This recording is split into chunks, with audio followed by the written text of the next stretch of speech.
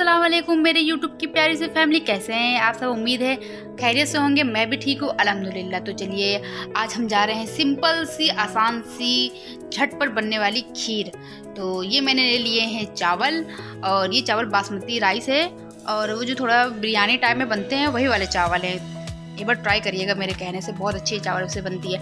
और इसको मैंने भिगो दिया है 20 मिनट के लिए, फिर मैंने ले लिया है एक लीटर मिल्क शक्कर, दो कप ड्राई फ्रूट्स इलायची पाउडर और इधर ये है मिल्क पाउडर। और इसको, इससे फ्लेवर बहुत अच्छा आता है।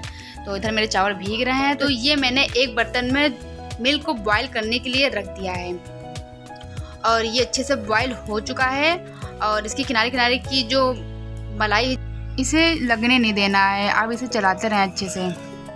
और इसमें फिर मैंने डाल दिया है फ़ूड कलर बस थोड़ा सा मतलब फ़ूड कलर डालना है थोड़ा सा अच्छा सा कलर आने के लिए। और अगर आपके पास केसर है तो आप वो भी डाल सकते हैं। और नहीं है तो कोई बात नहीं। तो इसको बस अच्छे से चलाते रहना इसका सारा प्रोसेस बस चलाने का है। तो हमारे चावल अच्छे से भीग चुके हैं और ये देखिए मैं एक चावल तोड़ के आपको दिखा रही हूँ। ये देखिए बहुत अच्छे से भीग चुके हैं। अब इसे चावल को वॉश करके बस आप उसको आ, मिल्क में शामिल करते हैं और मिल्क पकाते रहें ताकि चावल अच्छे से पक जाएँ और चलाते रहें। फिर इसके बाद हम पाउडर को पानी में घोल करके और अच्छे से इसको घोल लेना है ताकि इसमें लम्स ना रहे और इसे उसी मिल्क में शामिल कर देना है और इसे चलाते रहना है अच्छे से ताकि गुठलियाँ ना पड़े और इसे बहुत अच्छे तरीके से चलाना है। शक्कर ऐड कर देनी है और फिर उसके बाद अच्छे से इसको इसी में मिक्स कर लें और चला लें और तो इसे लो फ्लेम में हम इसे पकने देते हैं। चलिए, जैसा कि मैं आपको बता दूँ कि ये मेरी फ़र्स्ट वीडियो आई होप कि अच्छी लगी होगी, पसंद आई होगी। और अगर कुछ गलती हो जाती है तो प्लीज़ मुझे बताएँ तो ताकि मैं आने वाली वीडियो में, मैं सुधार ला सकूँ। और अच्छे अच्छे कमेंट्स भी दीजिए, मुझे बताइए भी कि मैं आगे क्या करूँ।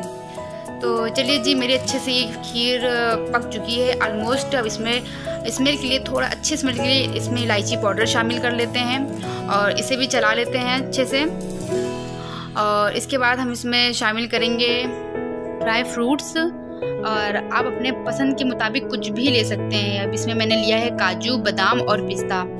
आप किशमिश वगैरह भी शामिल कर सकते हैं इसमें और ये मैंने इसमें डाल दिया है। अब अच्छे से चला लेते हैं इसे।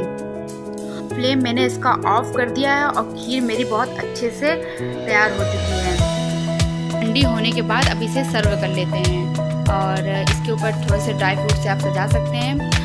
इसे आप ज़रूर ट्राई करें और इसका फीडबैक मुझे इंस्टाग्राम में ज़रूर शेयर करें। कैसे लगी आपको वीडियो आई होप कि अच्छी लगी होगी। प्लीज़ कमेंट में मुझे ज़रूर बताएँ। सब्सक्राइब ज़रूर कर दें।